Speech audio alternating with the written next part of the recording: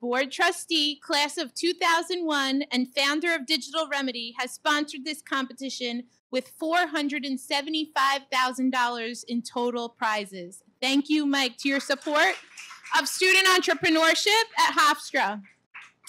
So, the Center for Entrepreneurship was founded in 2015, and we took over management of the challenge when we were founded and launched. And we've developed an entrepreneurship training program around the challenge um, and the competition series, including the Hofstra Digital Remedy Lions Dens, business boot camps, workshops, assistance from experts, and mentorship for students with experienced entrepreneurs and residents. This spring semester alone, the students participating in the competition participated in 110 mentor sessions to prepare for the for today and for developing their business. Um, and with the Idea Hub Incubator, we're able to take our assistance to the next level, offering space and services to students and alumni who will continue with their businesses. So I would like to introduce our judging panel today. Um, Mike Seiman, uh, CEO of Digital Remedy, board trustee, and chair of the Center for Entrepreneurship Advisory Board. Digital Remedy is a digital media solutions company leading the tech enabled marketplace, and he co founded this company as an undergraduate college student at Hofstra University. Um, digital Remedy is formerly known as CPXi and has been included on Inc. magazine's list of fastest growing privately held advertising marketing companies in 2008, 2009, 2010, 2014, and 2015. Mike was selected as a semifinalist in Ernst & Young's Entrepreneur of the Year initiative in 2010 and 2013, and as a finalist in 2019 and 20, uh, uh sorry, 2009 and 2014. And he was recognized by the American Marketing Association, receiving their prestigious Four Under 40 Award in 2015 and the Smart CEO Future 50 Award in both 2015 and 2017. His philanthropic Philanthropic initiatives include sitting on the boards of the Hebrew Educational Society Nonprofit Community Center and supporting Children International, where he spearheaded the development of community centers in both Ecuador in 2010 and Colombia in 2014. Thank you, Mike, for all you do. we also welcome Noel Goddard, principal at the Accelerate New York Seed Fund. Noel evaluates and performs diligence on applicant companies and their technologies for the Accelerate New York Seed Fund. Prior to her role at Accelerate NY, she directed the formulation R&D for Symbiotic Health, a New York City-based startup company focused on oral drug delivery of cellular, cellular and biologic therapeutics for diseases in the lower GI tract. She founded a food safety diagnostics company in Calverton, New York, and worked with Sapling Learning, a STEM educational software startup acquired by Macmillan Learning. She obtained her PhD from Rockefeller University and postdoc at Harvard Medical School as a fellow in the Society of Fellows and served as an assistant professor of physics at Hunter College, CUNY. And Noel has been very helpful to us with her networks with the New York City Long Island entrepreneurial ecosystem. Thank you so much for being here today. Our next judge is Robert Hussey, member of the Board of Directors of Digital Remedy and a member of the Center for Entrepreneurship Advisory Board. Bob is a seasoned financial, marketing, and operations executive in sectors including packaged goods, financial services, and advertising. In recent years, Bob has focused on advising private equity and institutional investors in these industries and his accomplishments include a NASDAQ IPO and ultimate sale to News Corp of Pop Radio Corp, uh, under which Bob's leadership became the country's largest direct broadcast satellite network. He received his MBA from George Washington University and currently serves on the Board of Regents at Georgetown University, where he received his undergraduate undergraduate degree. And Bob is a real help to student entrepreneurs at the Center for Entrepreneurship and rolls up his sleeves with them. And we really appreciate his assistance and insight. Thanks for being here today.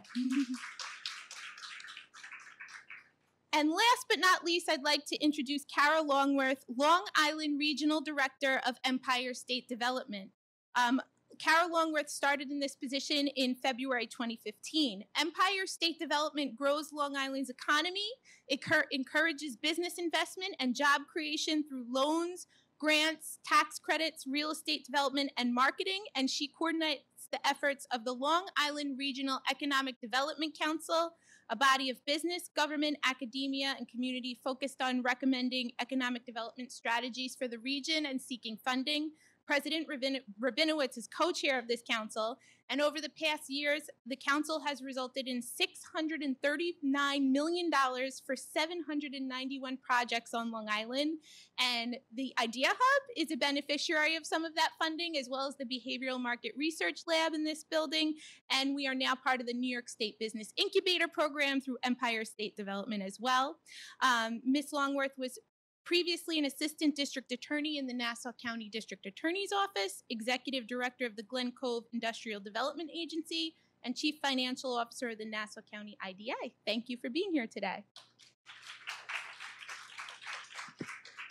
I'd like to make a few quick acknowledgments. Um, thank you to our entrepreneur and residence team, an amazing team of entrepreneurs, investors, corporate executives, who have really um, worked closely with the teams you'll be seeing today. So, Peter Kestenbaum, thank you.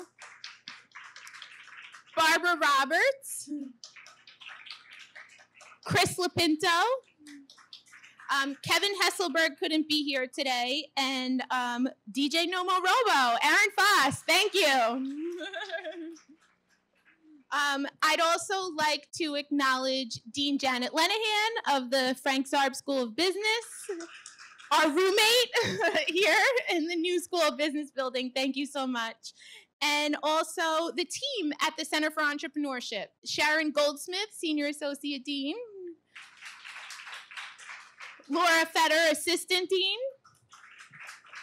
April Jones, Program Coordinator, and our student assistant, Alec Marcus. And our other two student assistants are floating around. Jonathan's in the makerspace, Jonathan Montag, and Sadidra's in the back, Sadidra Harris. Okay, before we get started, I just want to invite Mike Seiman up to welcome you and say a few quick words.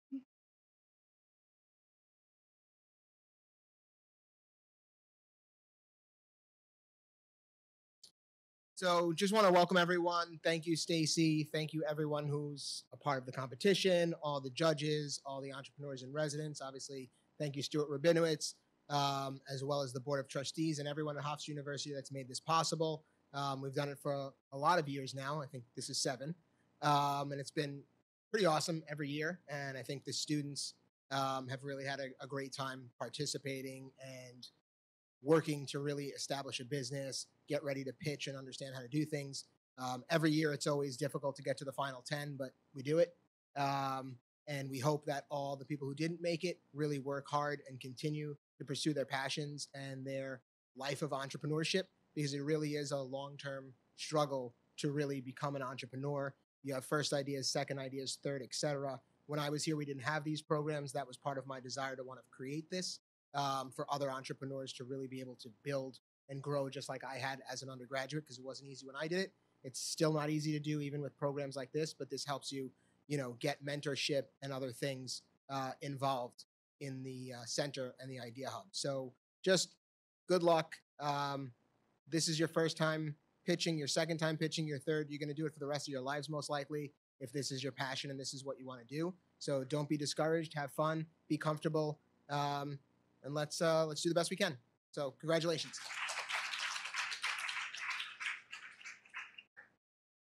Okay. So a few logistical details. This is being live streamed right now. If for the live stream to pick you up, you have to talk into the microphone. So you could take the microphones, you could walk around with them, but talk into the microphones. Judges, the same thing when you're asking asking your questions. So there will be 10 teams pitching today.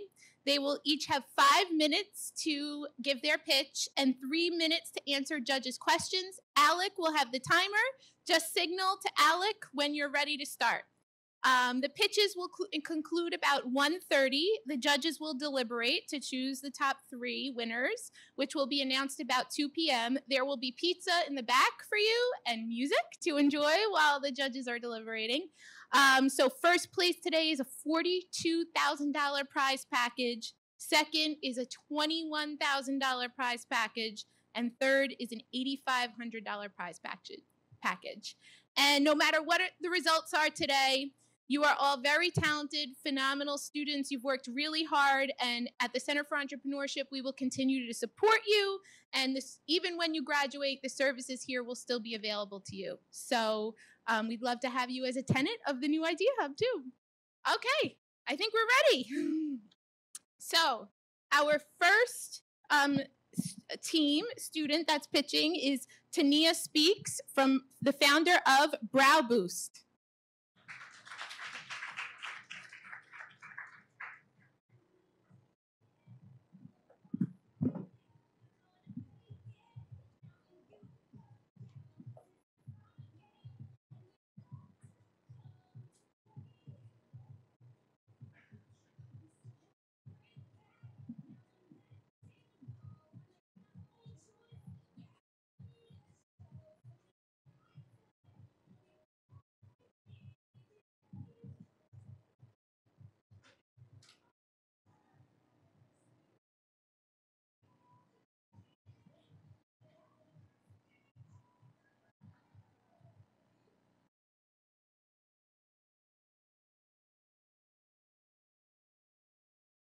In elementary school, you were probably trying to be the first one on the swings at recess.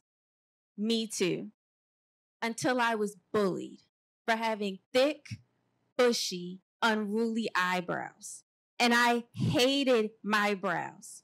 But the torture of my peers pushed me to find a solution. Brow Boost was born. I turned my trauma into triumph. Actually, have you looked at your brows today? Did you love them, hate them, or even forget about them? You are not alone. I am Tania Speaks, 17 year old founder of Brow Boost, an organic eyebrow gel made from the aloe vera plant and vitamin E that tames thick brows and grows thin brows. My mission is to make Brow Boost a part of women and adolescent girls' grooming routine who need a little help redefining how they feel about their brows. I am not discouraged by my competitors because there are limited organic brow gels on the market that do not contain harsh chemicals and they are not animal cruelty free. So, why should you believe in Brow Boost because of Ray. Our patent pending formula is reliable, affordable, and easy to use. Dry brush your brows with your brow wand, apply gel to your brow wand, and brush upwards and over. We will reduce this to one step using an automatic brow wand that will accurately brush brows to stimulate faster hair growth results. We are blending technology, innovation, and beauty in one battery operated package. The best part of Brow Boost is that it works. Customer A needed a full brow rehab, and she experienced results within two months by applying Brow Boost twice a day. Customer B needed to fill in sparse areas of her brows and experienced results within one month by applying Brow Boost twice a day. Customer C just needed a taming of her wild brows. And finally, customer D fills in her brows with a brow pencil, and applies Brow Boost on top. My revenue streams are generated from direct and online sales, trade shows, and wholesaling, resulting in a 90% profit margin and $10,000 after expenses my first year. Last year, with a slight increase in price, my profit margin grew to 94%, and I haven't lost a customer. And we are on the road to a million. Let me tell you how. In 2018, I was featured in Forbes, Black Enterprise, The Root, and named one of Time Magazine's most influential teens of 2018. Which skyrocketed our sales by 70%, all in one year. Based on our projections, we will increase this margin with social media influencer reviews with at least 100,000 followers, 60 day subscription boxes, retailers, and additional features. We anticipate a 10% increase in expenses each year, which will include manufacturing, packaging, filling, storage, influencers, and staff. Social media influencers are the new word of mouth, and they their reviews can average from $2,500 to $20,000. As a teen startup, I have stretched pennies to make dollars, and I will stop at nothing to turn those dollars into millions. When you look good, you feel good.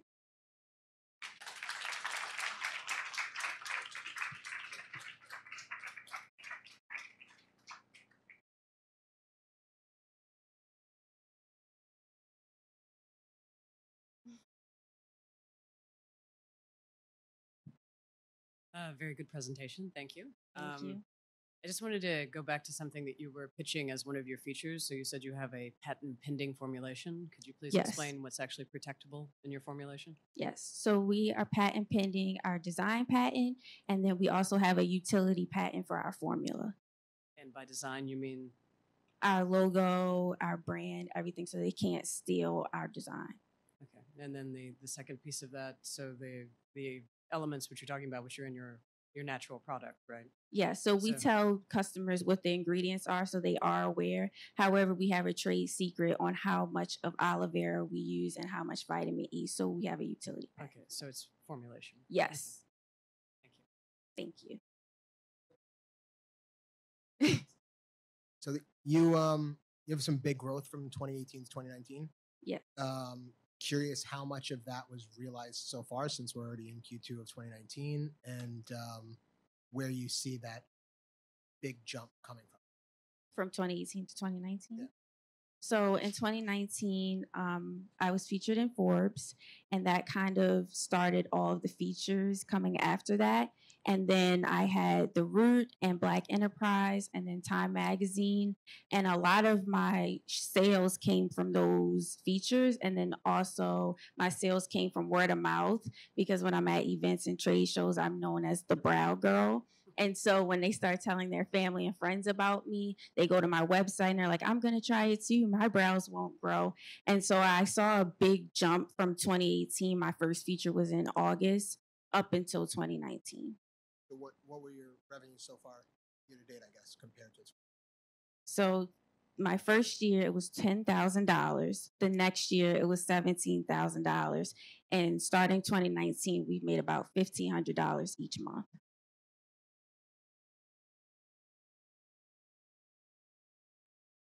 uh, change as you get bigger. I Yes. assume um, you're making them now yourself at home, and you're eventually going to look for a manufacturer or a co-packer. So right now we co-share a lab in Baltimore, Maryland, and that's where I make the formula and I make it in batches. However, we want to go to the automatic brow wand, and then we will need a manufacturer, and that will actually work better for us, so they can fill it, and we don't have to do it ourselves. So then, when we have more traction, we're not trying to fill all of those brow boosts ourselves.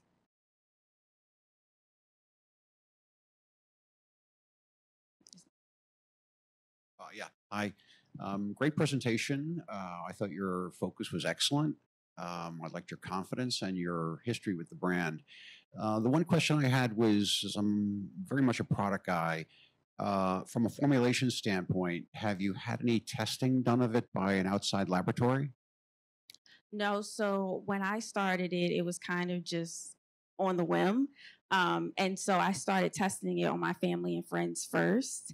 Um, and they experienced results. But of course, I still had doubts because they were my family. Yeah. So then that's when I started testing it on customers. So their testimonials are what I um, basically tell other customers about. So I show them the testimonials and I say, you know, results will vary. But if you try it, send us in your results. So I haven't had it tested by a lab, but I use my testimonials. Great. I think that should be in your business plan that your that your expectations are that once you get to a certain level of sales or beyond your product development that you're capable of, that you uh, get to a third party, because the um, the kind of halo or the endorsement of that third party will really help drive your sales and give you a lot of credibility in the marketplace. A lot of people look for references to products. They compare it, as you said, from your competitive landscape comments they look to see whether or not there's a third party validation of your formula that it won't you know cause a allergic reaction to them Yeah. you know across all kind of skin tones and skin types Yeah. Yeah. good luck Thank you. Great job. Okay, next is Courtalytics. Marcus Smith and Jan Leitner.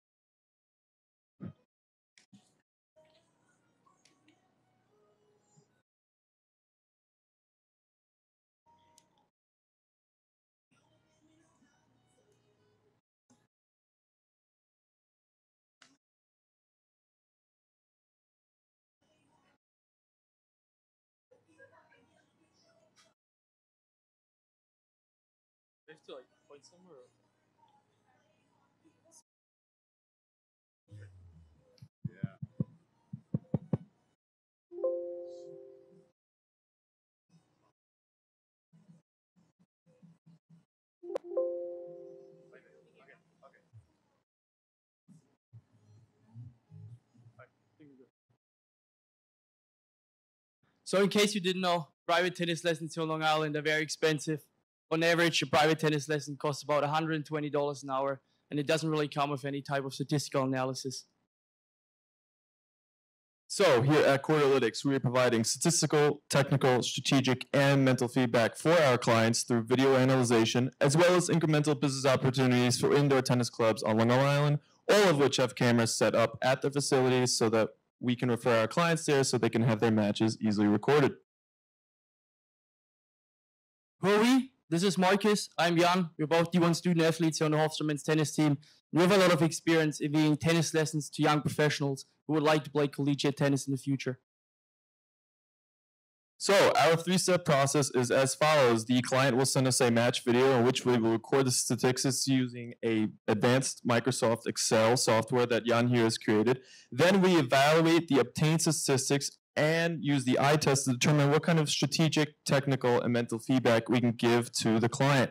Then the performance report is created using a statistical analysis sheet visual diagrams, and live video footage taken directly from the match, as well as situational awareness points that provide mental strategy that the client can go back to any time. Uh, sorry, at any time. The performance report is then delivered as a PDF or PowerPoint, dependent on the client's choice. This is an example of the automated software that we use in order to record the stats. All we pretty much have to do is click a button right here, and then it creates those diagrams for us that visualize the data, and it really helps us to provide quality feedback to our clients. So pictured here is the PDF version of our performance in court, uh, including a situational awareness point as well as live video footage taken directly from the match. So our target market are these 75 indoor tennis clubs on Long Island, all of which have cameras set up on court at their facilities, as well as over 8,000 teenage tennis players on Long Island. Regarding our competition, we listed our main three competitors here Game Smart Tennis, Scissor Tennis, and private tennis coaches on Long Island. Regarding the way we differentiate ourselves from our competition, first of all, through a product offering. So we offer a full analytical and performance report priced at a rate of $100, whereas our main competitors, in this case it's Game Smart Tennis, offer the same product at a rate of $150 per report. And as Marcus mentioned, we offer incremental business opportunities to local indoor tennis clubs here on Long Island because we refer our, our clients to those indoor clubs, all of which have cameras set up so clients book the courts, they record the matches, and recordings are going to be sent directly to us to get analyzed.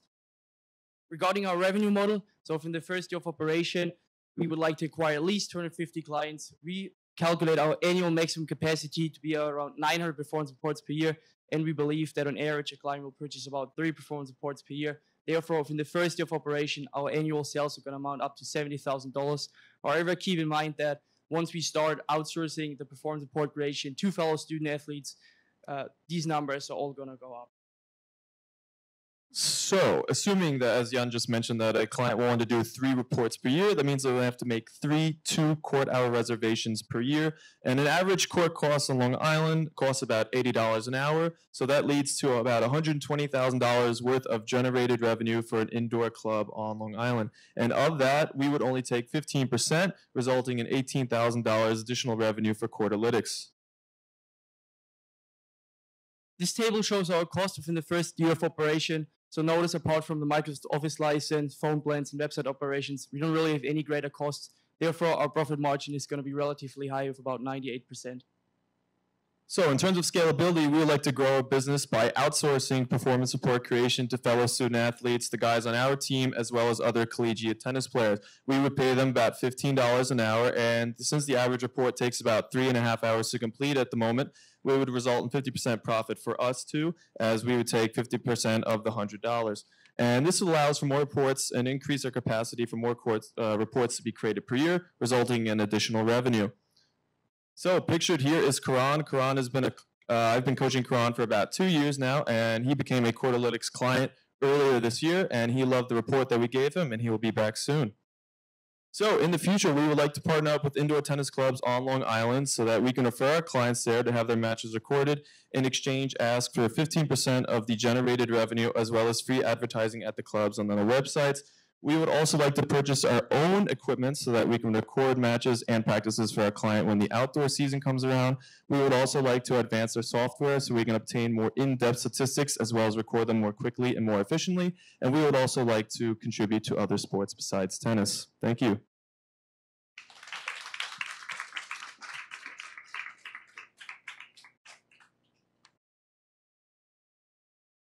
Thanks for the nice presentation. Um, so I'm, I'm trying to understand better the scaling process. So I, I get how you can scale in Long Island because right now you have connections here, which you're trying to leverage in order to get the initial amount of traction.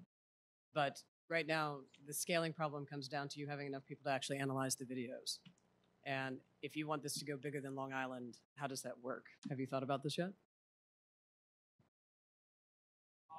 I guess so. First of all, we focus on Long Island pretty much. Um, as we said, Marcus has a lot of uh, customers here. I play with a lot of customers, and I guess we will use those contacts to uh, just yeah go bigger. S- Since it is a digital firm, uh, basically, you know, we're doing it all online. We have a website set up, so people through uh, word of mouth, people in tennis community are very well connected, and people will find out soon enough. Uh, our competitors have done the exact same thing, so we believe that this is a viable uh, option for us.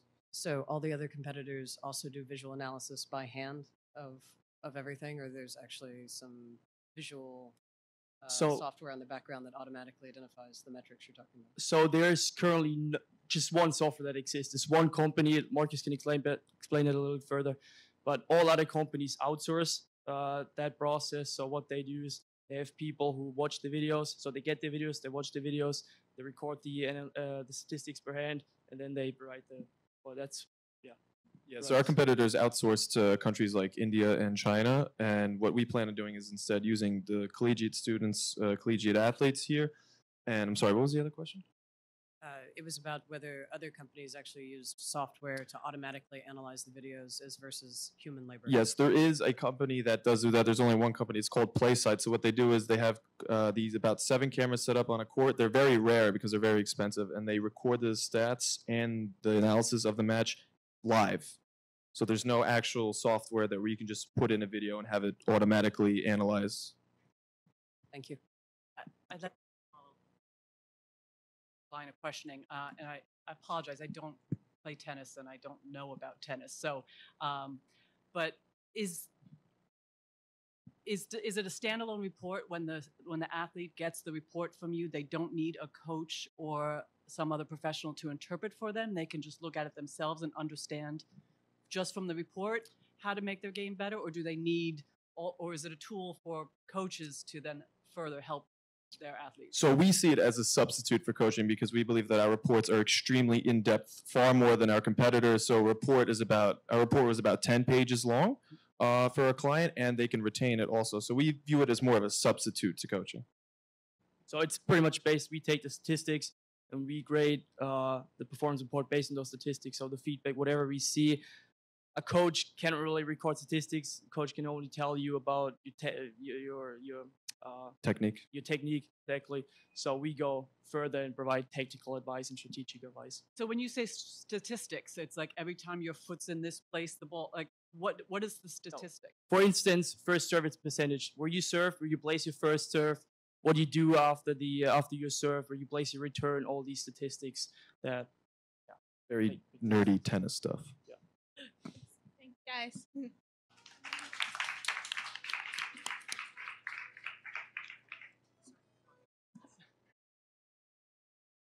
Next up, Michael Lai with Crest Health.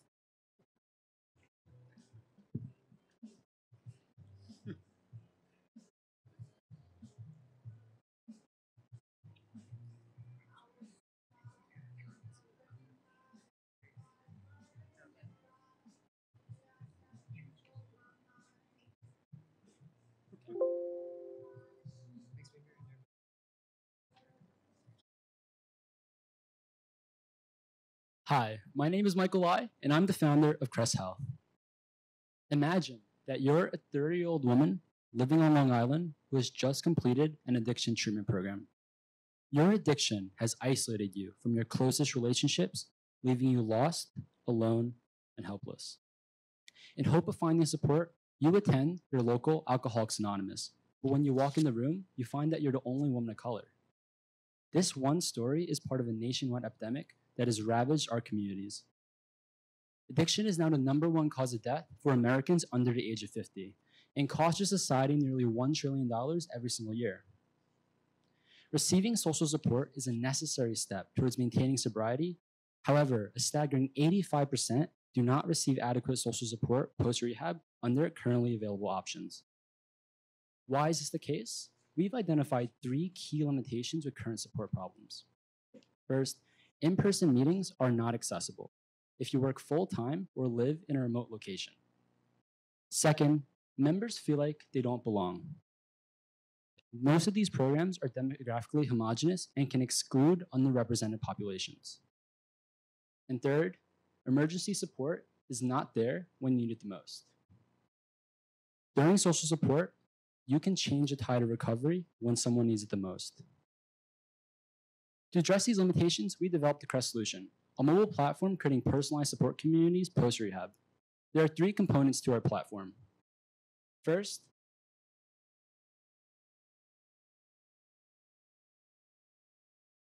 First, Crest connects you to a personalized online support group that matches you based on key identities. Second, Crest provides a safe space that allows you to share your experiences anonymously and risk free. To ensure a safe space, Crest employs an artificial intelligence AI system that monitors communities for malicious or inappropriate behavior.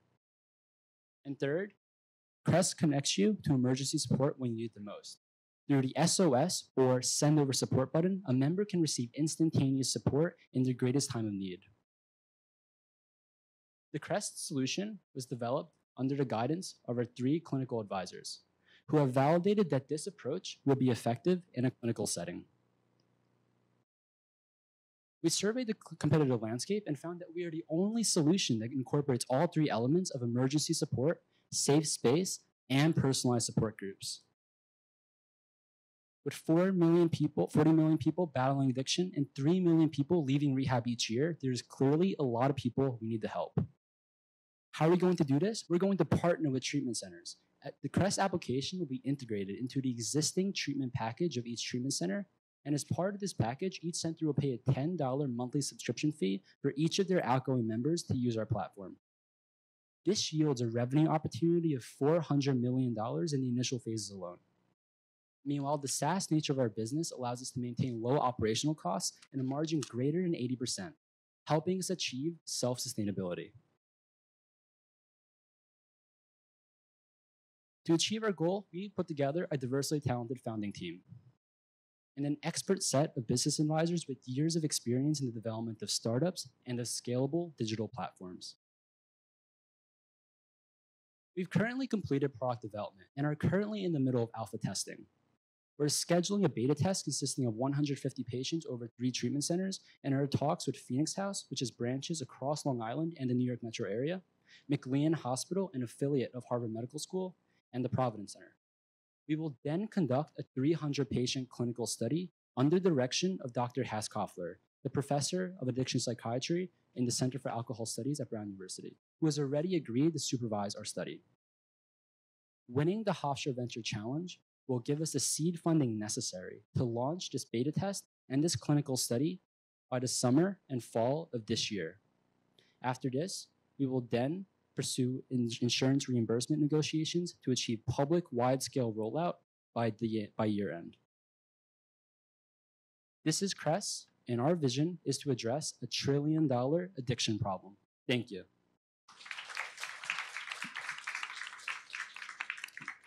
Um, Thank you, Michael. Um, I wasn't really clear on the revenue model. Yes. Uh, And I, and my, my next question is kind of a compound question is Okay. the, the fundamental issue of addiction and compliance or um, agreement to follow this plan. Um, These people are fighting uh, Right. normalcy. Mhm. And so I'm not sure where the money comes in and the desire for compliance with the right program. so you like the uh, the members clients to use our program.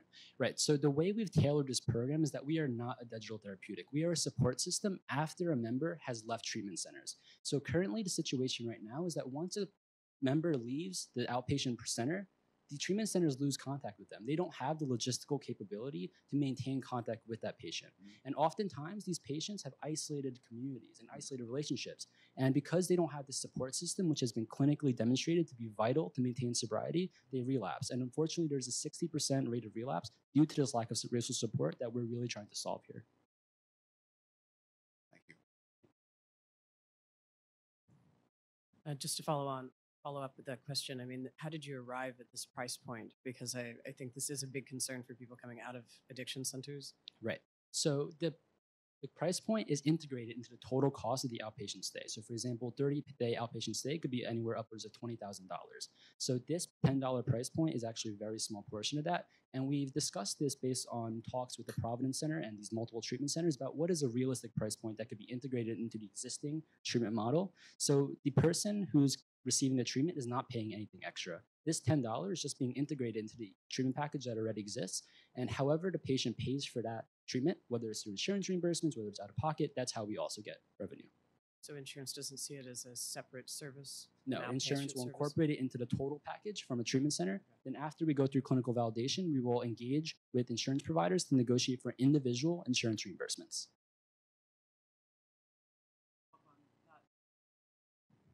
People Mhm. uh, battle addiction for life. Right. So this is they would just pay one time and they'd have ac- was it 10 ten dollars a month. But once they've separated themselves from that addiction center, how do they? What happens for the next thirty years? Right. So the vision that we envision is that basically once we can get the clinical validation, we will negotiate with the insurance providers to see how long they will be willing to support this fund. And if it's demonstrated that it can re- really maintain sobriety and potentially stop the rate of relapse, And that saves a lot of money for the insurance providers later on. And that's their incentive to use and fund our program. One follow-up question, Michael. Have you done a, a, um, a modified P and L for the product? Do you know what your development costs are going to be? And Right, yes. Okay, So yeah. currently we're using a database, Firebase, and currently every message per monthly sent is going to cost 0.02 cents. So that's how we arrived at our greater than 80% margin for the business.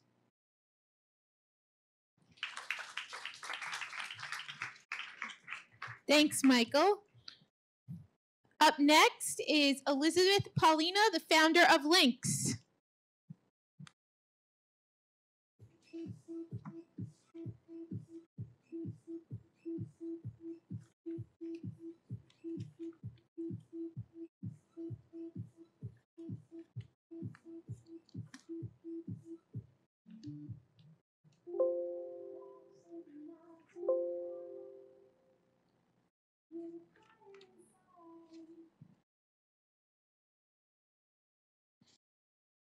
Hello, everyone. My name is Elizabeth Paulina, and I am the founder of Lynx, we build women track and field shoes.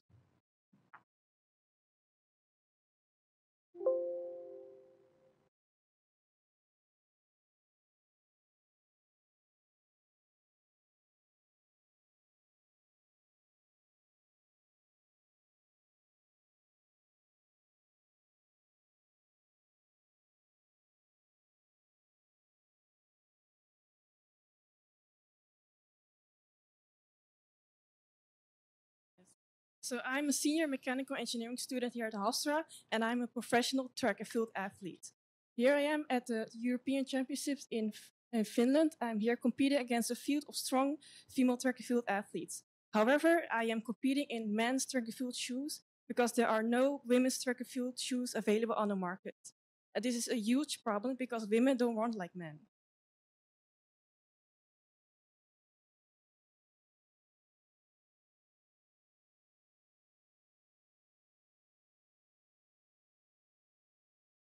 So Lynx is building track and field shoes built, made for the uh, female anatomy.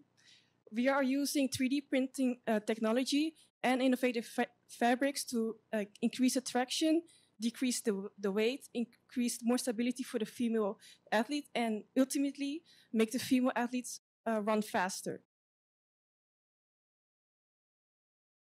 How do we stand out compared to our competitors? So we set our um, products at a more attractive price also, we increased the traction by using innovative fabrics instead of the uh, cheap fabrics that the competitors use nowadays.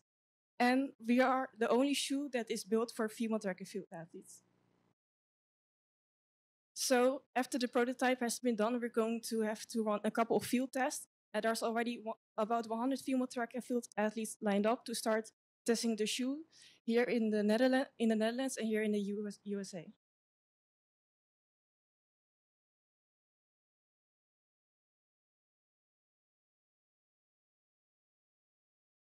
So we're partnering with US manufacturers to produce the prototypes.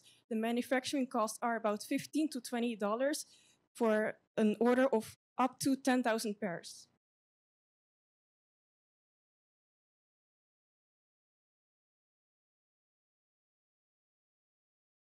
Based on customer discovery, we've set the price at $100 per pair, and we give a group discount of 30% the customer lifetime value of an athlete is $500, but we all know that athletes go faster through shoes than your, your own kids. Therefore, the customer lifetime value can be over $1,000 when the track and field athlete uh, buys multiple shoes a year. Also, in, in order to um, in order to reach 5, 5 million sales, we only need 25,000 athletes. At 25,000 athletes, is just a small fraction of the US market. Here in the US alone, there is more than half a million female track and field athletes. And globally, the global market revenue in 2016 was 13 billion, and it will increase to almost 17 billion in 2018. 60% here from this is uh, female track and field uh, shoes.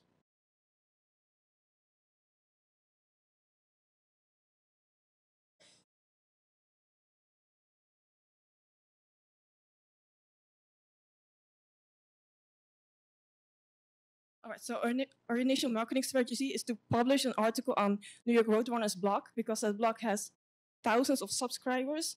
After our beta test has been um, successfully completed, we'll start approaching non-sponsored track and field teams here in New York and in New Jersey, and then we'll launch our Kickstarter campaign. So track and field athletes are easy to target because there's, there are Facebook groups with thousands, tens, tens, tens of thousands track and field athletes. And in order to scale our marketing,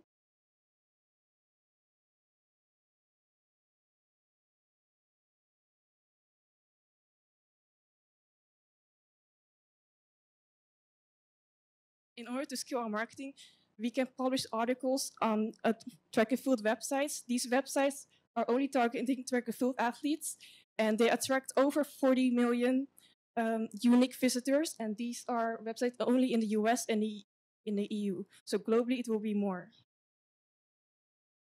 So initially, we like to distribute our track and field shoes online via Amazon and via our own website. Over the long run, we like to distribute our shoes in store and via online retailers that exclusively target track and field athletes. So I'm endorsing already one athlete who is very excited and, and very talented, and she's jumping to help me and give me advice and help me product the the pro, pro, product the, the and field shoes.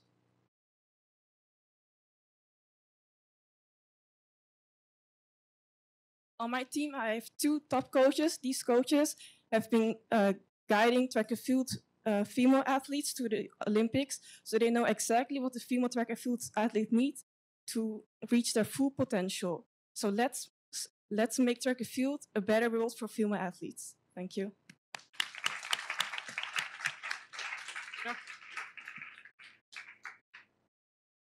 Uh, Thank you. That was a Great presentation. Uh, I understand running a little bit better than tennis. So, um, is there any opportunity for this for recreational runners? This is both for professional runners and amateurs. and I have a second question. I know um, a few years ago with the swimming suits in the Olympics, they changed. There was all sorts of rules and regulations, and they ultimately changed, had to change the swimming suits. Is there anything similar in, in Olympic rules or NCAA rules about the the type of shoe and what Yes. would be legal? Okay. So nowadays the shoes have uh, about six to eight spikes on the bottom plate. The rule is you can only have up to 11 spikes. So my design will have 10 spikes in a unique placement. Yes. Thank you. So, question being that it seems like it's such a huge opportunity in terms of the scale. Um, why, in your opinion, well, two part question. So, one would be why, in your opinion, hasn't Nike, Puma, um, New Balance, etc., built the exact type of shoe for females, um, being that it's such a big market and they could own it? And two, what would it, um, why would it, would it be so difficult for them to enter the market after seeing your marketing of the female shoe? So uh, first, uh, men's track and field, uh, the sport, as, as is more popular than women's track and field. They get more exposure. So for Nike and other brands, it's more profitable to to make um, track and field shoes tailored for men, and then they they make uh, women's running in the same uh, shoe. They have they're available in women's sizes, but they're not made for the female body. And what was your second question again? the second question was being that that being the case like you're saying right so they're i mean it sounds like what you're saying is they wouldn't create this specific shoe because why would they if they can just create those sizes and females would buy them it doesn't behoove them to do the r&d to do this but after you have done this and created that what is going to limit them from wanting to copy and create a female shoe once you enter the market So after final, finalize all designing process, I will uh, patent my design. Yes. Well, my, my questions kind of echo, echo Mike's. Um, the size of the market, as I recall it, the, the, the gross market was 400,000, 425,000 women, female athletes That's in the U.S. in the U.S., just Yes. the U.S. And then your, your target market or your resulting market would be 25,000 of those people? Yeah, twenty-five thousand in order to make five million dollars in sales. Right. So it is a very specialized market. So to Mike's point, what you really need to be careful about is someone, some because the distribution is controlled by four players. So you're going to fight to get distribution. Um, you can go through the mom and pop shops that are want to be loyal to you or know you as an athlete or know your team members, and they'll take on the brand. But um, distribution is controlled by these four major manufacturers it, I think it might be really smart to think about um, protecting your product with licenses and patents, or excuse me, patents, and then license the concept to um, to one of these larger manufacturers. They have all the brand power and the brand money, and you're going to find that out. It's a very expensive proposition to market that, but you've done a great job on the uh, on the product, especially. Um, it's your experience and your love, so we can see your passion in Yeah. the, in the product. So congratulations. Yeah, thank you.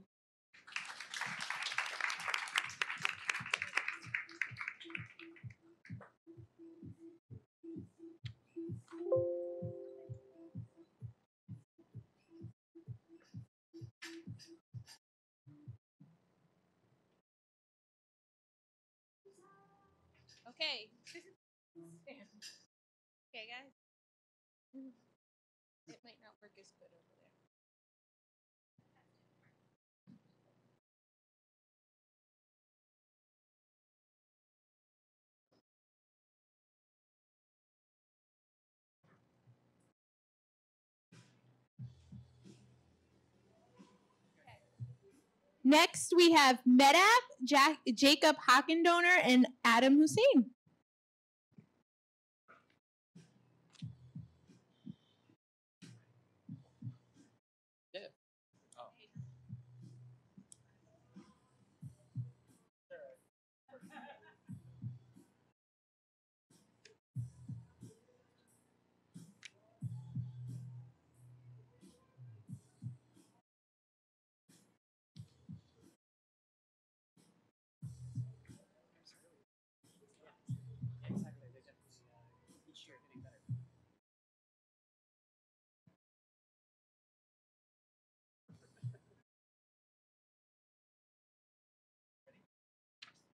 Hi, I'm Jacob. And I'm Adam. And we, We are are MedApp. MedApp.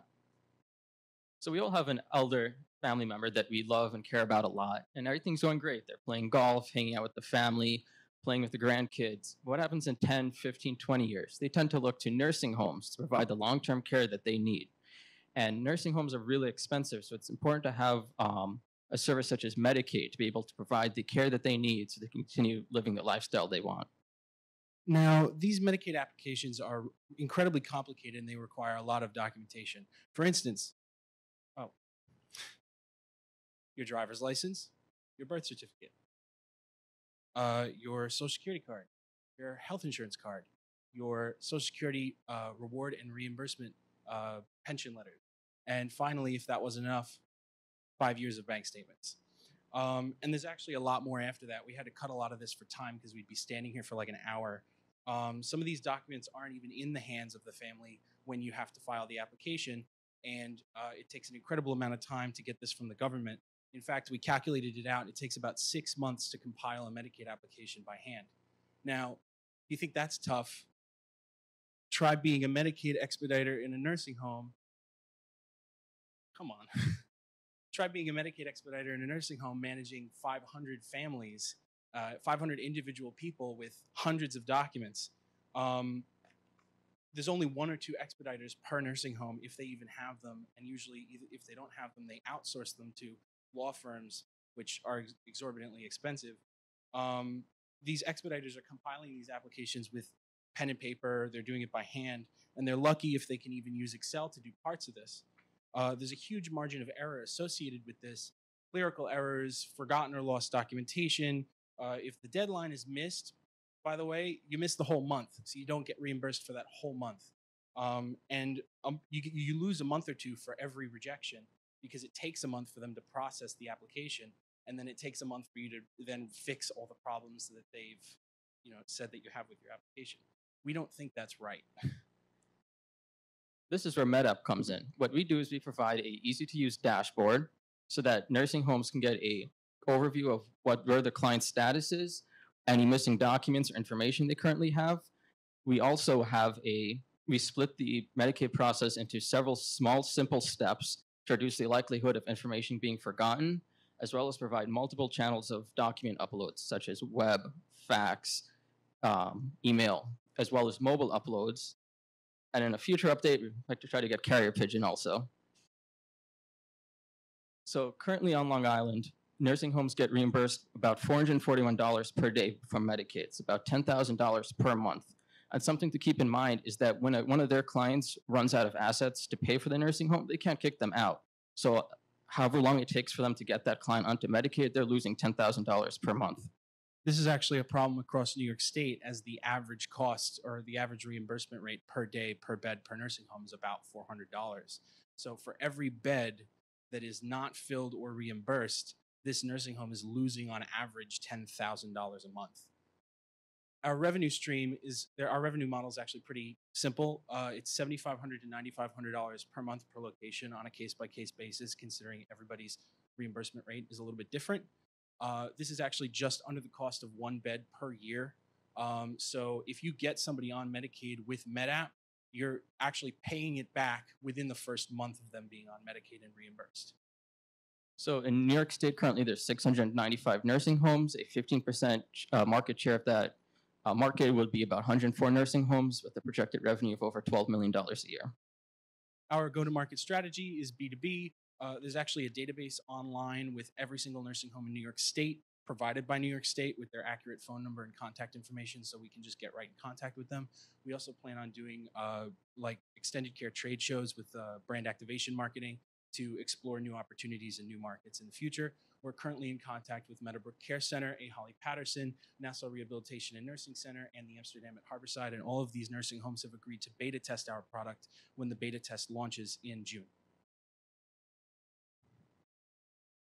Me and Jacob have, pre- have previous experience working on a application in the Medicaid field, uh, as well as we have a lot of experience in software engineering and um, elder law applications, which we feel gives us the edge. We also have an advisor, Louis DeVito, who is a subject matter expert in elder law and has advised us on the Medicaid process. We also have a, an advisor, Professor Ray, here at Hofstra, who has enterprise web development experience, who's helping us with compliance um, and et cetera.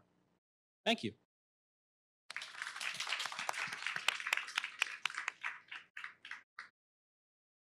I just want to understand your value proposition a little bit. Would you say say you're like a TurboTax for Effectively, Medicare? project slash uh, client contact management or like TurboTax for for Medicaid applications. so and so the and, and you sell the program to the, The nursing nursing home. homes and then they still have to work with the client to get all the information. However, Our goal is to make that easier by including multiple channels of of um, document providing because effectively the only thing that you need to provide is like basic information and then all this documentation. There's only like one nursing home and one of the ones that we're in contact with. There's only one nursing home that actually does the document recovery themselves. Usually it's it falls on the family to provide the, that documentation. Um, and one of the major pain points is getting that documentation from the family. Um, and so we're providing like every channel that we possibly can. We're working with Twilio to get fax and text message upload for all the documentation. You could email it. You could uh, scan it in from a scanning uh, device like a printer. Uh, so we're working to make that as easy as possible to uh, distribute these tasks to the family in a most the most understanding way, the, the easiest to understand way, and then they could just upload it however they want. I, I'm, I have to commend you. I, I've actually had personal experience with this situation. Yeah, so have I. It's Uh, really yeah. Hard. Um, my mother was in a nursing home and it cost about fifteen thousand dollars a month, Mm-hmm. and it was chaos. But I, uh, my question is to you two individuals: Which one of you is the developer? we We both, are. are. Actually, we have two other people working with us. It- This is our senior design project, so we're we're actually almost done with development. So you have a- you have a. It says development is underway right now, and you're going to launch in the spring. So do you have a beta product that you have out there? Uh, we're we're we're currently in alpha. We're going to beta. Um, it should be finished by May because that's when it, the project's due. So it sort of has to be finished by May if we want to graduate. All right, great. Uh, good luck. Thanks. Thank you. Um, I was actually wanting to follow up on the, uh, the document upload question because it seems to me this is a definitely a, a ripe opportunity to make a, a camera grab app for scanning docs quickly and getting Yeah. them into the system because even finding a print shop that has some type of fax capability or somebody who has a scanner at home, et cetera, is one more pain point, right? Yep. Yeah, um, we, we actually have an API that we're looking at for document upload from phones where it'll actually be able to grab the corners of the document, adjust it just like a scanner. So um, we have multiple methods. Yeah, also Twilio, when you send a fax to the phone number, it automatically converts the fax to a PDF and just emails it to us or sends it to whatever number or whatever. It's a programmatic system, so it'll just do whatever we want. Or maybe you can out, I mean, again, you could license existing stuff like in Node. Well, that API that I referenced prior is licensing. We would license that from another company. So one last question: For the product to perform, you really need this family interaction with the app, so that they supply the documentation that's missing to have a, um, a satisfactory outcome with the product. Yes, eff- effectively, what we'll be doing is using services like Twilio or just email to send messages to the family listing exactly what they need to do to get the documentation. Thank you. Okay. Next, we have Oak Creamery, Olivia Feldman, Catherine Stoddard, and Alicia Fleming. I know a lot about ice cream. hopefully that's Sam. Oh my God! Yay. Shark Tank thing. I was hoping you would do this. Today.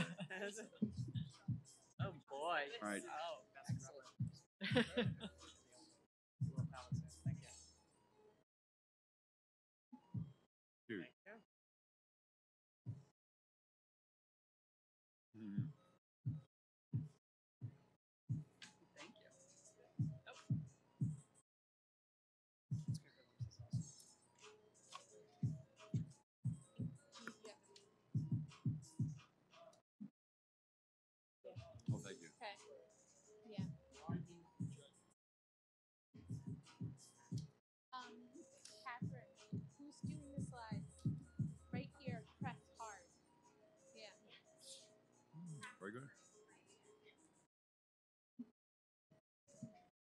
While the judges are enjoying some ice cream, one of our advisory board members from the Center for Entrepreneurship has joined us, John Dragata, CEO of Sovereign Global Advisors. Thanks for being here today.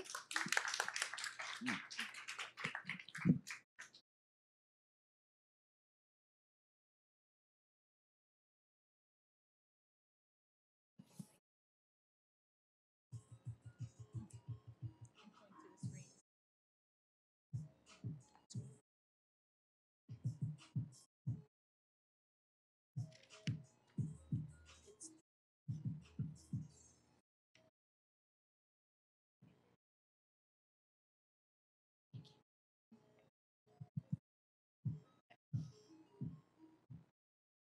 Hi, my name is Olivia Feldman. This is Oak Creamery. Oak Creamery is an artisanal ice cream made with 100% uh, natural ingredients. We are also a sustainable company, and our sustainability shines through in our pint packaging, which is made with 100% recyclable material, as well as our scoop cups and spoons, which are 100% biodegradable. Our philosophy is combining an artisanal ice cream and the desire to help our planet, and we do that by providing our customers with 100% all natural ingredients, our community by working with the local farmers in the area,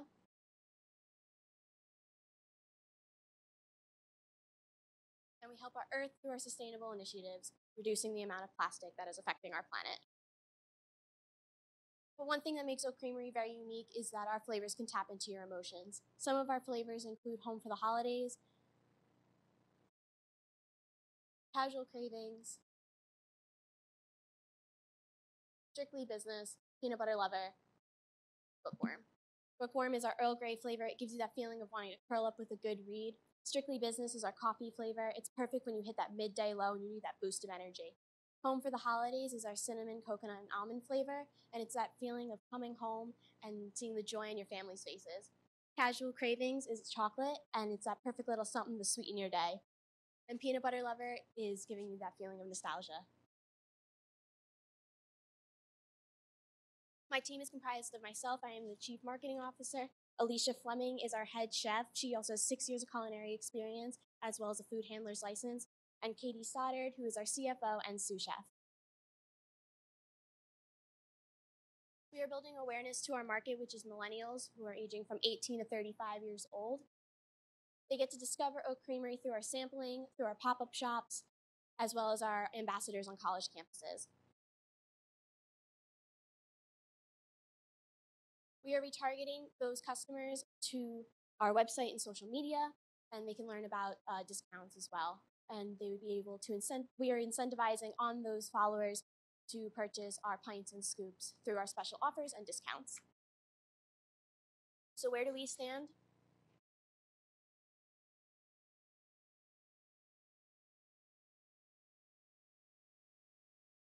Oak Creamery clearly stands out among the rest. We are the most unique and the most sustainable.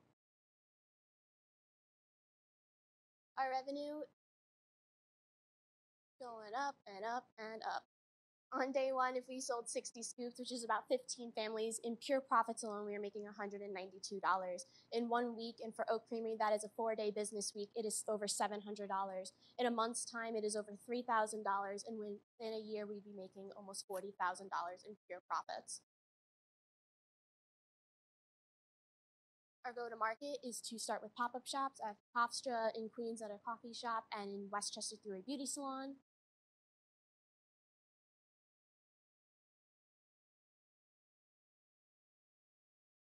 We then would launch at Hofstra and we'd be getting the most foot traffic through the student center. We are also negotiating currently with uh, the food truck.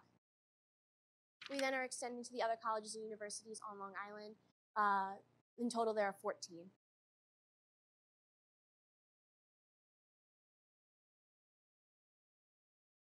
We then want to extend out to the rest of the Long Island community through the farmers market. In total, there are 36 farmers markets that we'd be working with, and this would take us from early May to mid November. And at this point, we are selling year round when you include the universities.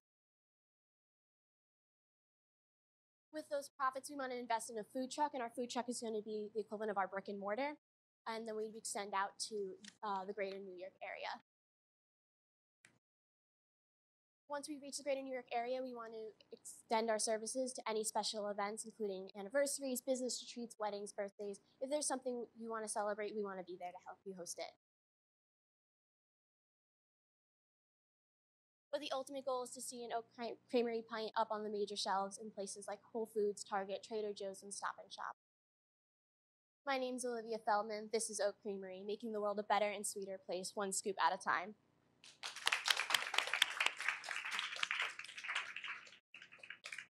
So that was delicious. Thank you for the samples. So glad you enjoyed. Um, so one notorious problem with all natural ice creams Mm-hmm. is the stabilizer problem. So the moment that you decide to put this into somebody's commercial freezer and it uh, defrosts regularly, Mhm. ice crystals form, changing the palate taste. So how do you guys propose to, to deal with this problem?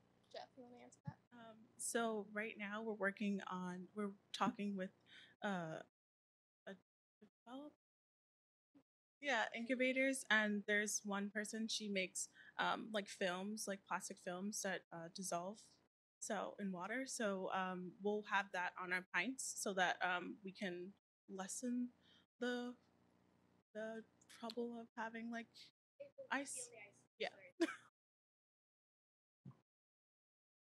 Olivia? Yes. So um, I didn't notice any uh, formulation information in terms of sugar content and We are currently uh, working with a nutritionist at the moment. Okay, so you haven't identified and we're going to meet all FDA regulations. Okay, because everyone really is focused on Yes. um, sugar. Everything I see in muffins and cookies, and um, I just saw a company that makes crepes, and they're they're actually they have a cauliflower crepe um, and an egg white crepe. Most of the crepes are made with flour, so they're all going to this, you know, really low carb, low sugar content.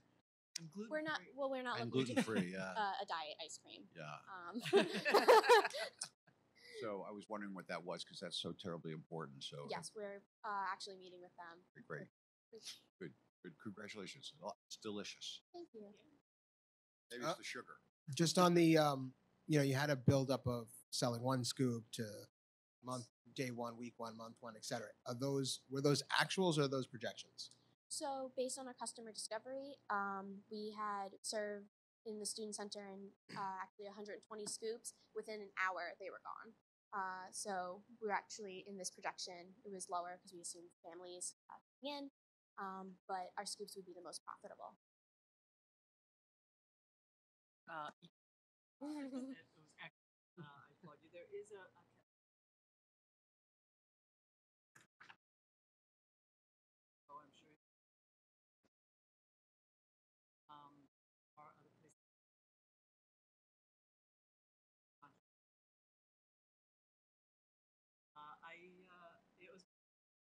I love I love the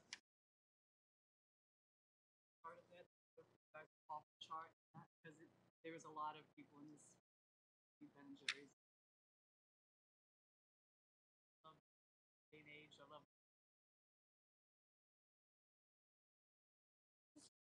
Great presentation. That's Thanks one- so much. One more thing as you guys are wrapping up. You should also think about co-branding with your uh, Long Island farm. If you're going to be a Long Island launch brand, so you should think about maybe co-branding with some of those farms.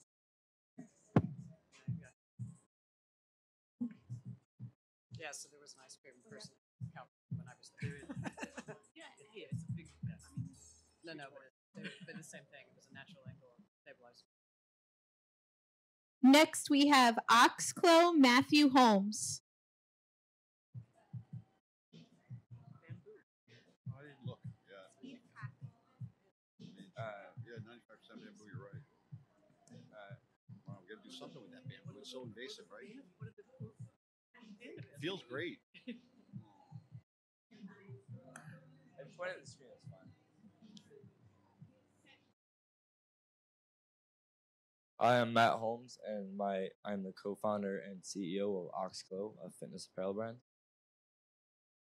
So some problems with fitness apparel today is odor. When you go to work out, you leave in a wet shirt and you're smelling pretty bad. So that's a big problem people face when they're leaving. Another problem is shipping prices. Our main competitors are based in the United Kingdom, so it takes seven to 14 business days to get to the US. and high price points.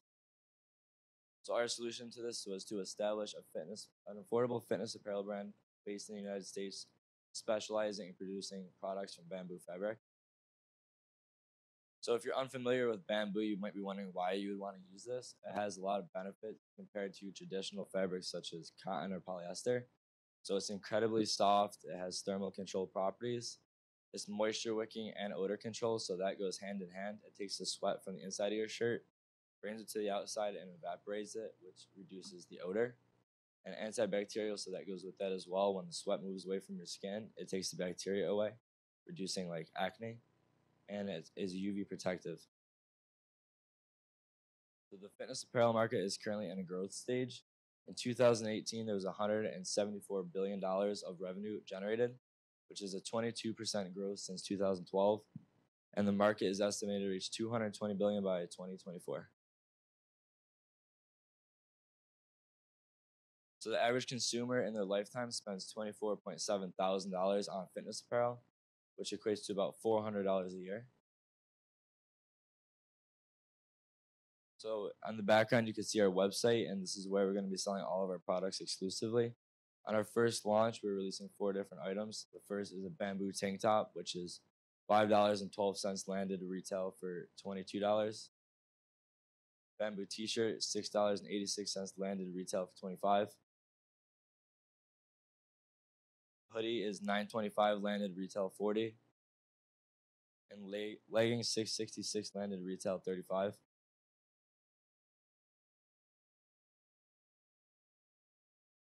So right now our target audience is 18 to 25 year old male and females. This demographic is more towards college students, so they don't have higher incomes.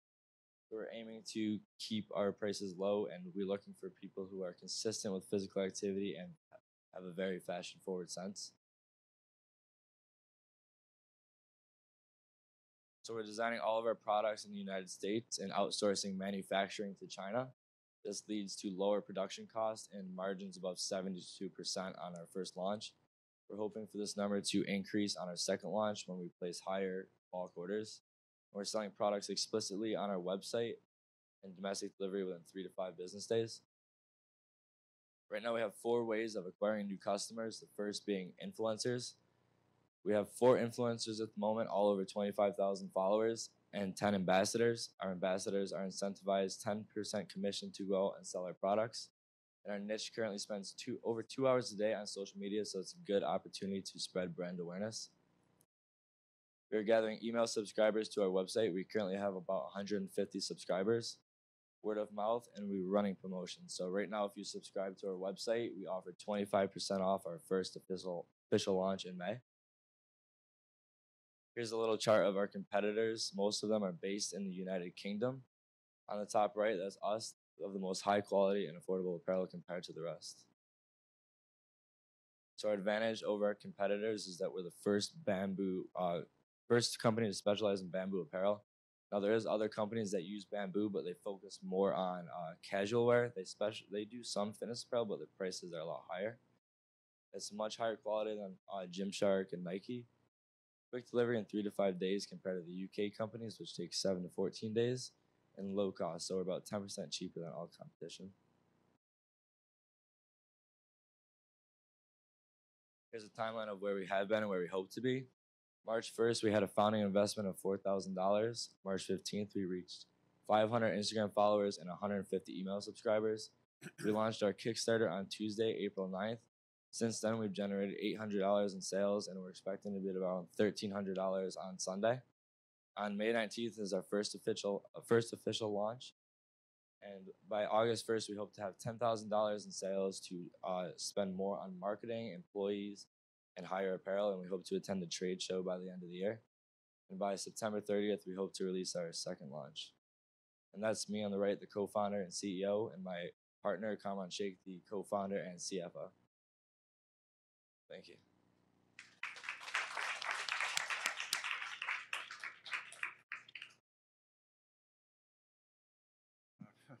you know, just on the face of it, I like it.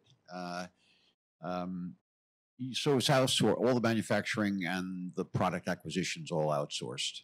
Yeah, so these products here and everything on the website is all outsourced in a manufacturer in China. Right, and and how can you be assured of your manufacturing source and the delivery of the product? I saw your timeline is your first bulk order is in May. Yeah. Well, they already started production. We ordered it about two weeks ago, so it should be here in the beginning of May, and then we're launching it hopefully May nineteenth. Great, great. It's about a Um, twenty-five day process to make it, seven days to ship it. Right. Good. Congratulations. Thank you. So my question is, how do you keep your edge? So the moment that uh, one of these other fitness manufacturers notices that 100% bamboo product ends up being a great market, uh, Well, some of those companies you saw in there, I'm not gonna name any names, but my uh, partner actually like he messaged them like, "Hey, I'm new to working out. Like, what's why aren't you guys using bamboo? I researched that it's the best uh, fabric." They messaged them back, "If we do that, we're gonna have to raise our prices and we're gonna lose consu- uh, lose consumers." Yeah.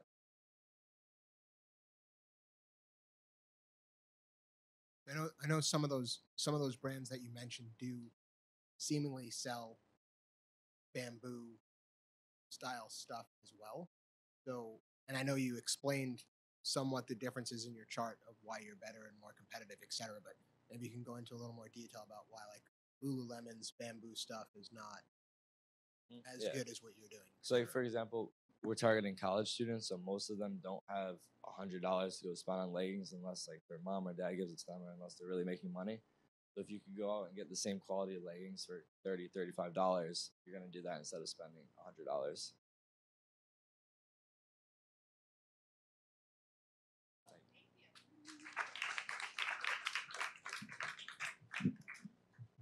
Okay.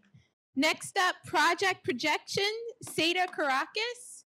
We're running a little bit behind schedule, just so everybody knows, um, but it's okay.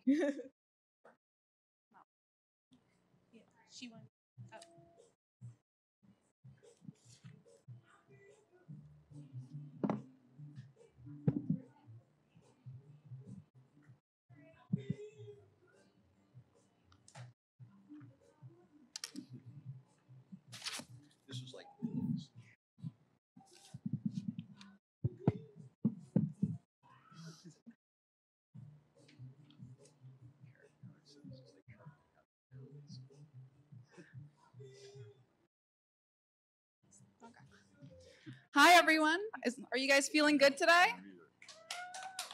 That's great to hear. I'm doing pretty good too. My name is Seda Caracas, and I'm the founder of Project Projection virtual tools with real life results. Back in high school, I had a friend who we can call Nicole. She had mild social anxiety, but it got significantly worse when her father was diagnosed with brain cancer. Her condition got to the point where she dropped out of school and didn't leave her house for over a year. I spoke with her brother out of my worry, and he told me that she refused to seek outside treatment. I desperately wished for a way to help Nicole from her home, and it was her love for video games, along with my brother's virtual reality system, that gave me the idea to start Project Projection. It was a few years later, during an entrepreneurship course I took here at Hofstra, where I received funding from Capital One Bank, that I was able to start turning my idea into a real business. Project Projection is a unique and immersive VR program that treats adolescent social anxiety through exposure therapy. Users put on the VR headsets and experience simulated social scenarios where they're exposed to anxiety inducing situations and are given options on how to react. While doing the necessary research, I found that there were companies that had already been using VR to treat PTSD and phobias in adults for years now. And the great news was that it worked. However, I found that there was a large demographic of potential customers that these companies had missed adolescents.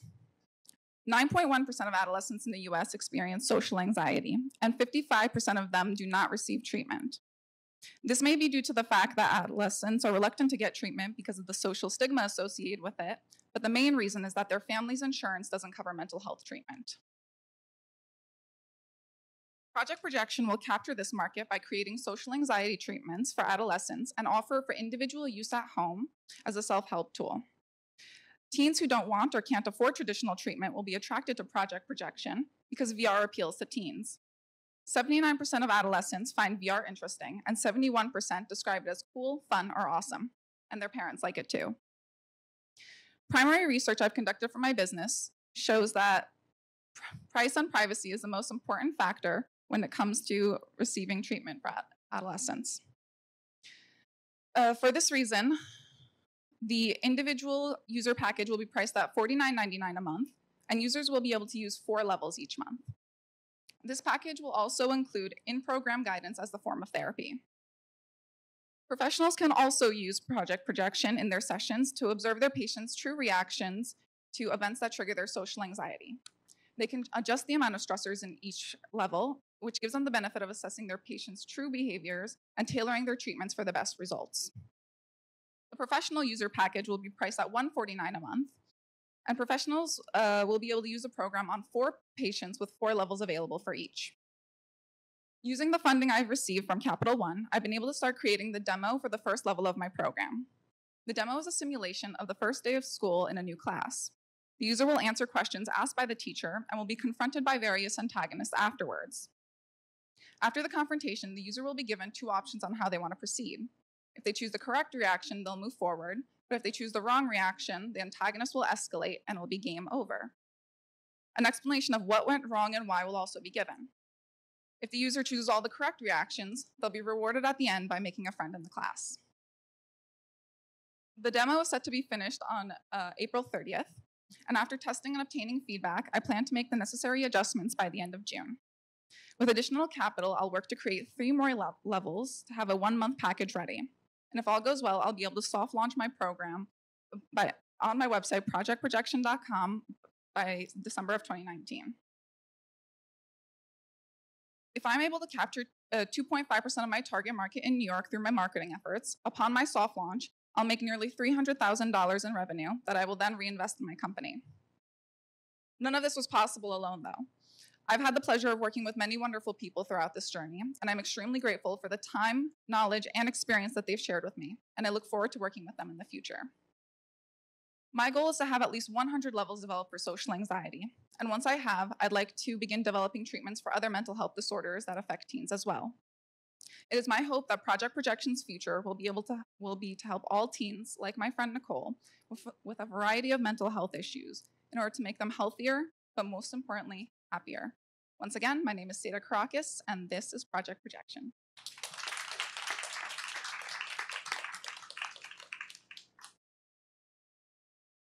Uh, very nice presentation. Um, I'm I'm curious. I'm I'm thinking of a the fact that a lot of people who have social anxiety, who may drive them into being gamers anyway, actually avoid social situations because they understand the interaction with others through role playing games, etc., is a safer space.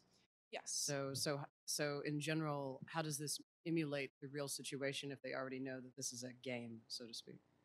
Well, this is a way for them to experience a situation in a safe space, like at a safe environment. So there won't be any actual negative consequences. So they can test out how they want to act, how they want to be, and they can gain the confidence from this to be able to go out into those spaces in the real world.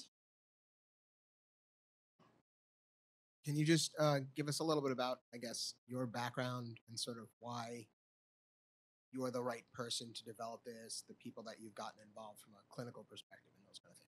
Okay. Um, well, I myself have a little bit of social anxiety, and um, I can relate to a lot of the people and how they suffer through this.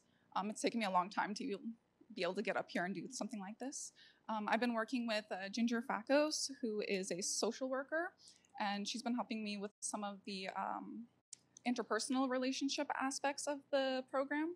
And I also have a developer, um, Justin Tomasic, who's been developing the uh, more VR aspects of the program. Any other questions? No, it's very well done. Your presentation was excellent. Oh, thank you very much. Thank you, guys.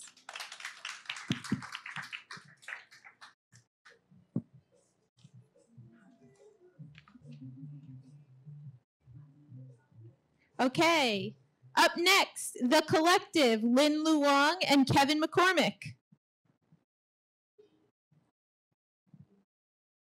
And we have some seats over here in the front who, for anyone who want to sit, who wants to sit down.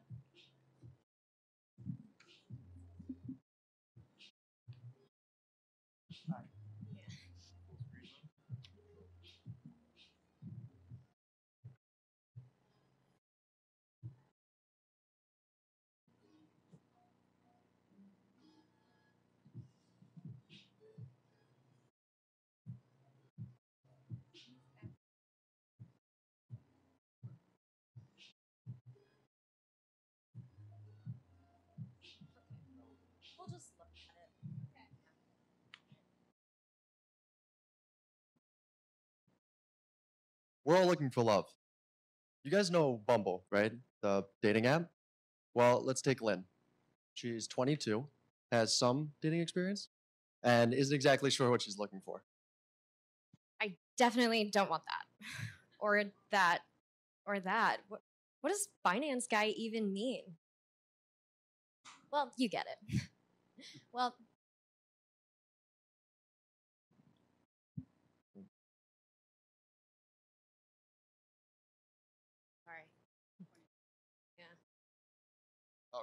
All right.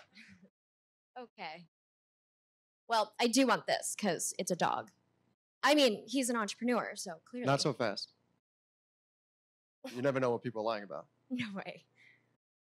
Okay. Hmm, Not love at first sight, but I do love a guy that knows what he wants in five years. Well, Len, I hate to break it to you. If you think finding love is hard, you've obviously never looked for a career. Employers go on bad dates constantly. In fact, 45% of employers report having troubles finding the right match.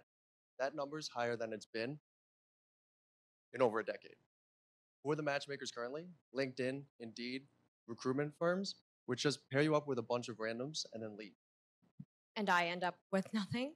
Well, you could have been nicer to me. Finding a great career shouldn't be as hard as finding love. There's a huge problem out there. High quality candidates and great careers just aren't swiping right on each other.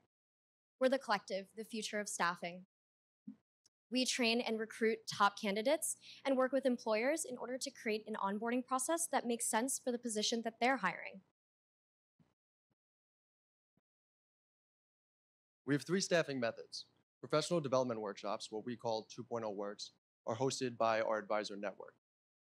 Members of the collective pay a 20 to $50 ticket fee in order to attend. For employers who are looking for candidate skills in action rather than a static resume, we offer project based hiring, which makes use of employers' uh, contract work. Both of these efforts contribute to a candidate's hiring potential, and employers will pay an 8% recruitment fee on any direct hire from the collective. We launched last year after a year of development.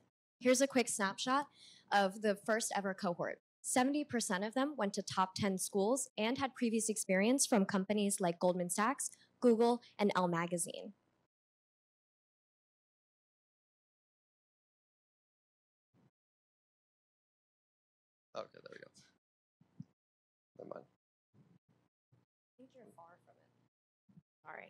Sorry. Sorry about that. Here's a look at our advisor network and the companies that they come from. These are industry professionals who are looking to give back, helping to form the next generation of young professionals. Our current advisor count sits at 58, and we're still growing. Our launch strategy was completely organic. Between social media, advisor referrals, alumni networks, we were able to reach 10,000 impressions within the first 15 days of launching.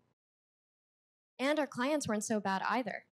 We closed the summer with a revenue of $83,000 and a net profit of 6%. That was just in three months. We're looking to penetrate the $146 billion US staffing market, a market which outsources 39% of all its staffing needs. It's estimated that to onboard and train a new employee costs employers $240,000. And even after spending all that money, there's still a risk that a bad hire's first year salary, 30% of that could be lost. We penetrate this market with a digital and in person push. We're leveraging our growing network to attract great candidates and optimize our brand in order to bring in employers for our hiring pipeline. After year two, we project a revenue of $254,000.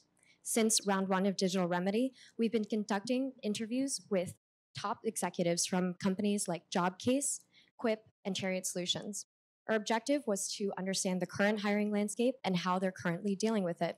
Biggest takeaways were that companies are miscommunicating job descriptions and driving away great candidates. And technical skills, everyone can combine them, but we need to refocus on soft skill training. We also have double the number of applications for people looking for acceptance into the collective. And that's why we're here. Having access to an office space where we can build our company mission, company culture, and help our candidates with their professional development is something that's huge to us. Kind of hard to work when you don't have a place to go. We are currently looking to expand the collective, and we know just how big it is based on our team in place. The two heads of our advisor network, a former HBO VP and a computer science and engineering professor, help us to navigate what employers are looking for and build a continuing education curriculum to do so. And us? Well, we've had great jobs, but we've been struggling for the past four years to find a place that could leverage our jack of all trades learning style. We realized that this is it professional matchmaking, and people are looking for it. Every employer asks for ask this on an application, but this is what they're saying about us. So let us, the collective, help you fall in love with your career.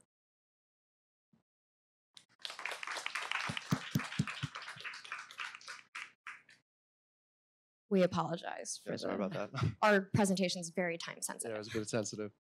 Uh, thank you for your presentation. Um, when you say you're training people, what does that mean? And is it, is, are we talking just in the professional fields or manufacturing? And I- I'm a little unclear of, it it seems like you're trying to be both the matchmaker and training and onboarding. So, our process is that we look for the hiring potential in candidates. Whoever gets into the collective, we match them with advisors that are already there, and they go through mock interviews, help them craft a professional development curriculum that makes sense for them. So that could mean, you know, someone who's in supply chain would be matched with someone who's in supply chain. Um, and then they would take a la carte uh, workshops that are held by these professionals in order to strengthen their development. So you're not placing people in jobs. We are. The end goal is to place them in jobs. Could you flip to?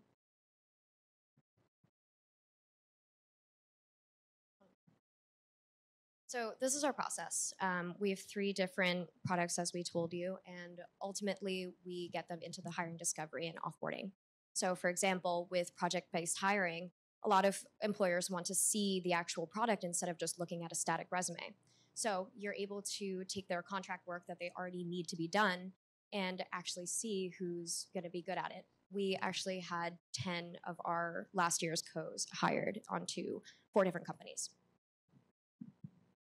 Is the 8% model uh, standard in the industry for, for recruiters?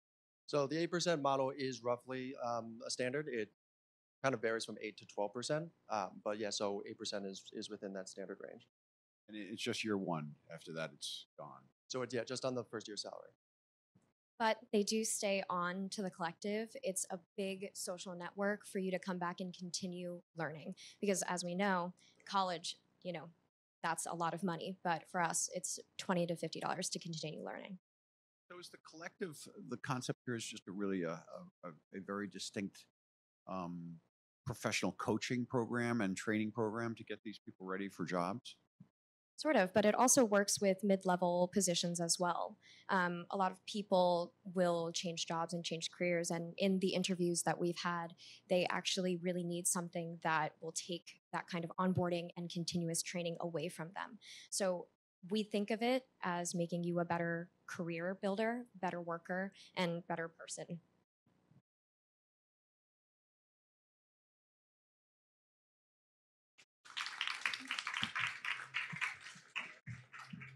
Okay. Great job to everybody rolling with the technical difficulties we're having we're having too. Um, our last but not least, Whitney Coleman from WC Artistry.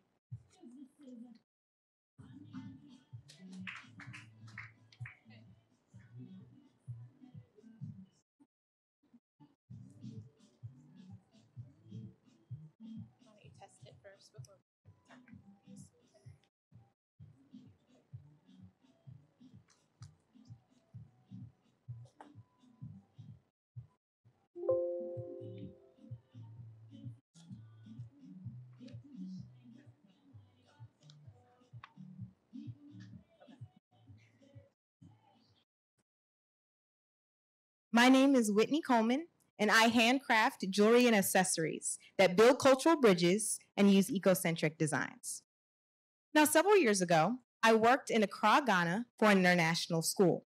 While there, I noticed the vibrant colored fabrics that my colleagues and students would wear, and I realized that my plain colored wardrobe was pretty boring. That's when I began shopping for vibrant colored jewelry of similar quality and beauty in the US. But what I found was either too heavy, too expensive, or of lesser quality. That's when I developed the solution to take the vibrant colored fabrics I had seen in Ghana, infuse them with sustainable materials, and created my own jewelry and accessories company, WC Artistry. All products are handcrafted and create value for customers in three specific ways. The designs are unique, the products are extremely lightweight, and the handcraftedness ensures the best quality. Also, customers have the freedom to customize their jewelry and accessories any way they'd like. Also, the prices are very reasonable, ranging from 6 to $35. Now, my target market are college students, young adults, and working professionals. The costume jewelry market is currently valued at over $30.2 billion, is rapidly growing, and is much larger than my current ability to produce. However, WC Artistry Scaling Plan is designed to create a $360,000 business within a year's time, which we will soon discuss.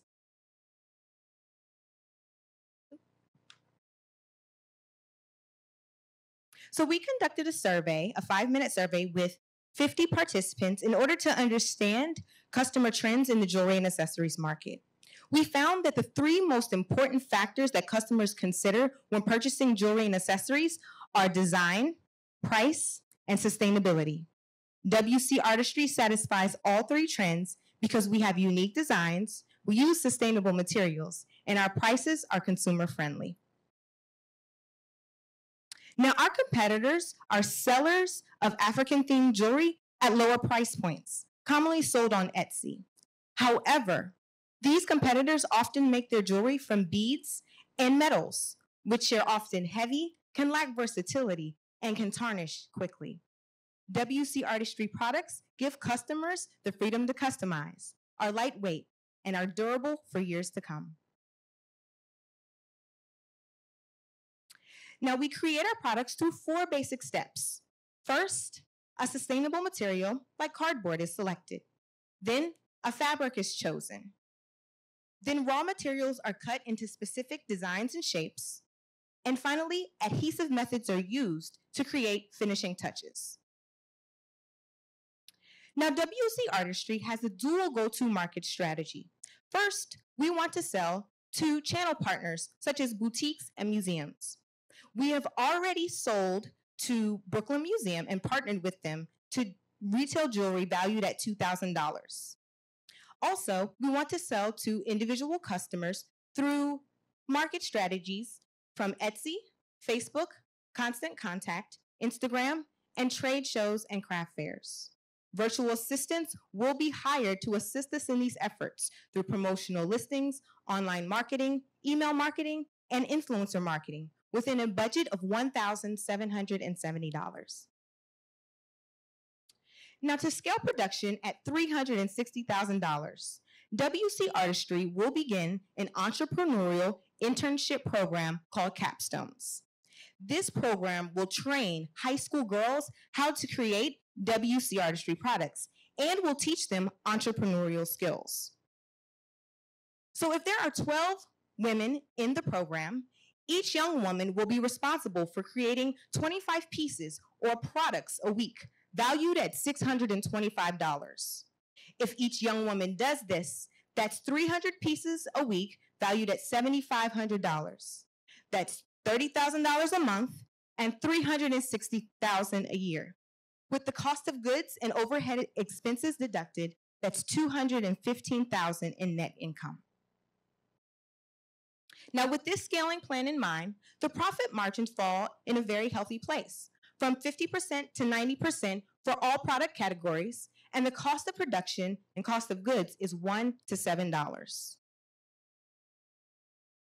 Now, we have substantial buyer supplier relationships with companies such as Moonlight Supplies and Cover Buttons. However, an investment from this competition will, will enable us to scale. Thank you.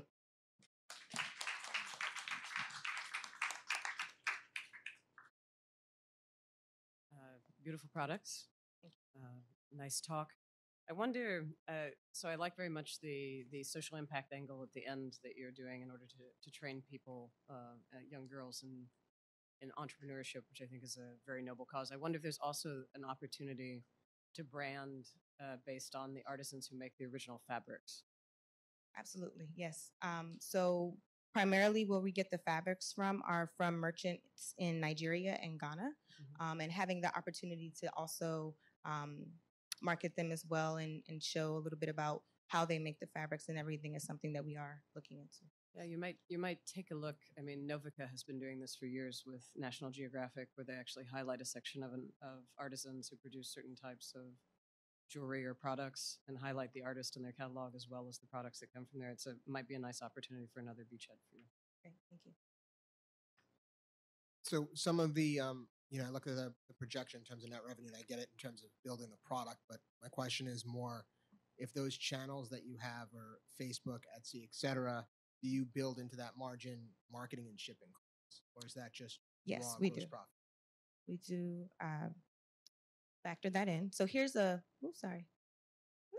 Okay, so here's a one month um, revenue model projection that we have here. And the cost of expenses first is really to just give you a idea of how much it would cost to run the program for the young women. Um, and then also the marketing strategies of how much each would cost is around $1,770. That's all included, which equals to about 12,000. Um, so we take all that into consideration. Whitney, I'm glad you left this slide up. Where is the labor expense on a monthly basis in your P and L? That's the first thing I didn't see. Yes. So um, basically, the the if the young women are to make the products for us, um, they wouldn't get paid um, per hour, but the cost would just be the expenses of the program, which include educational materials, because we will be providing them with those entrepreneurship skills. Okay, so for design, uh, the, the designer doesn't get paid? Right. It would just be a program for high school girls, and um, the option would be to give them credit if they have like a half day schedule. They could be working for us that the rest of the day, and then um, that would be the compensation. And how about all the administrative expenses related, direct and indirect related to the business? Yes, those are included into the cost of sales expenses in Appendix A Okay. in the executive summary.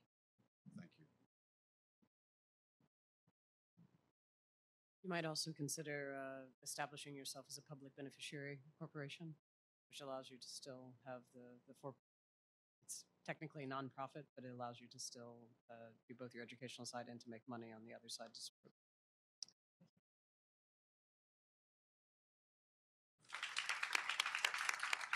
Okay, let's give all of our competitors a round of applause. They did amazing. Oh, the judges are going to deliberate now. There's pizza in- the back for everybody. We'll try. We know we're running a little bit, behind schedule. We will try to be back as fast as possible. So see you soon. Welcome back, everyone, or welcome us back. I think you were all here the whole time. Um, so it took some time. Um, there was a lot of negotiating and deliberating on where we thought um, the presentations ended up. Everyone had a fantastic presentation. This might have been probably, I would say, the best year um, that we've had yet in terms of how quality everyone's presentation was and how everyone brought their A game. Um, so we really went back and forth a lot on the business model and what the things we were looking at and what we were looking towards in terms in terms of the scalability of the business, current revenue generation, um, and just the skill set and the presentation and the confidence and things like that that we looked into. So, without further ado, uh, in third place, uh, Crest Health is third place.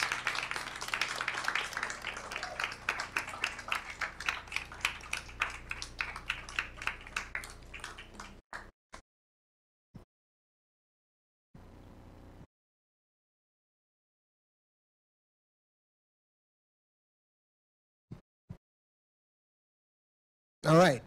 Uh, and now for second place, we have a drum roll. There's no drum roll. No drum roll. Brow Boost.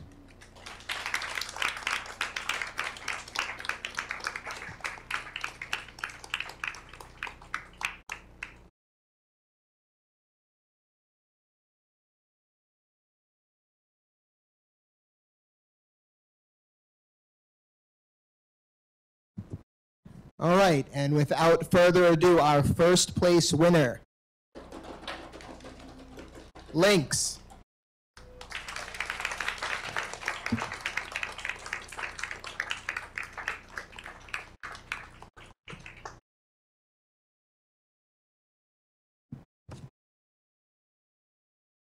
Can I ask all the competitors to come up for a picture, please?